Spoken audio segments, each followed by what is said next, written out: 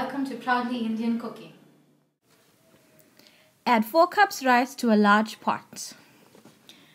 Then you add 3 cinnamon sticks, 4 elaichi pods, 3 anise and 2 tablespoons rough salt. After your rice is boiled, you strain the rice. Then you add drops of yellow food coloring to give rice color.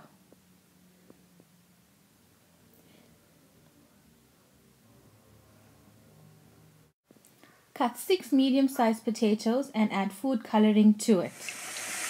Then fry your potatoes until cooked.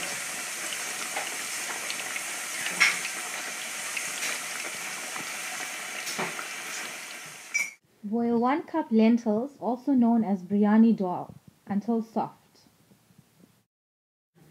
Now to prepare your meat, you put 4 tablespoons curry powder,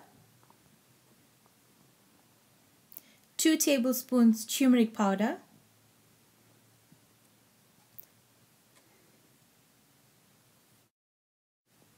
one tablespoon dhania powder, one tablespoon jeera powder. You also add 3 cinnamon sticks,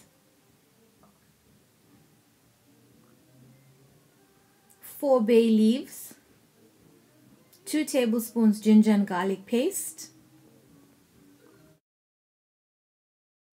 half bunch of thyme,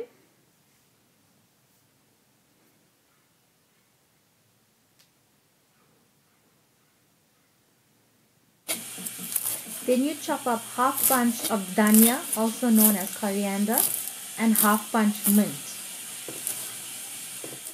And add it to the meat.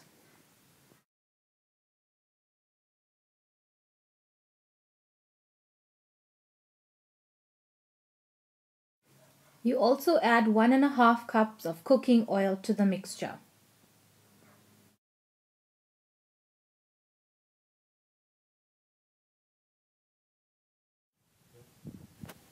Then you add one chopped onion and one tablespoon jeera seeds and mix together.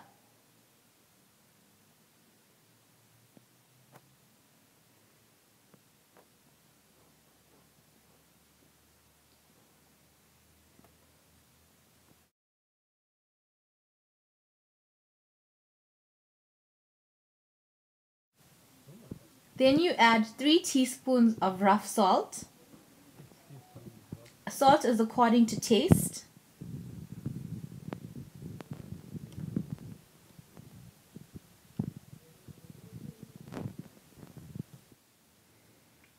Add one box 250 ml maas.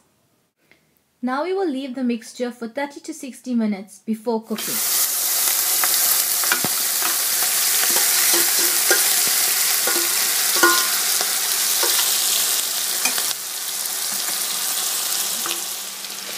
Now we add the mixture to a pot and we cook the meat until it is soft.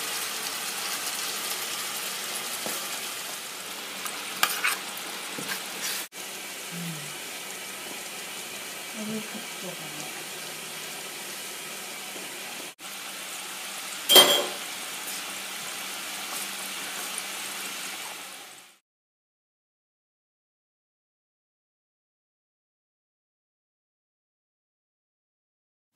Now that our meat is cooked, we add our 1 cup of lentils, also known as biryani dal.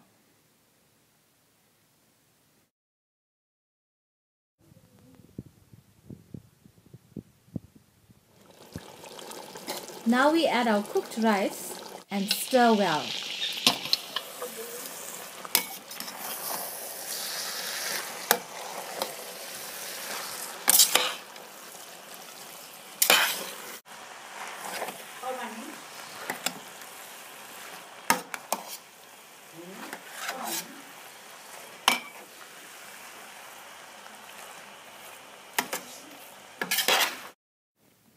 Now you can add your potatoes.